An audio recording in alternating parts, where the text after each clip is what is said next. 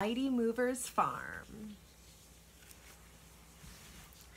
This giant tractor has threaded tracks instead of tires. It can pull very heavy loads. Tractors are big and strong. They have very large tires. This machine is used for mowing grass. A person sits on the mower and drives it. Some farmers ride motorcycles on their farms. Farm motorcycles are small and light. This machine is a rotary hoe.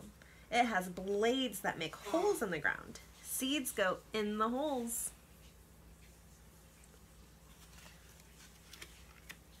This tractor has a wide scoop that can shovel up big piles of dirt or stones.